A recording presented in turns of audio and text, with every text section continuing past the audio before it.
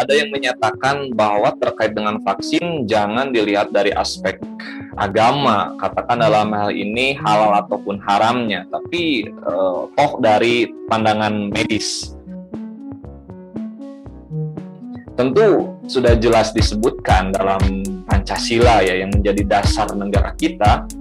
Di sila pertama yaitu ketuhanan yang maha esa yang mana di Indonesia mengakomodir enam agama.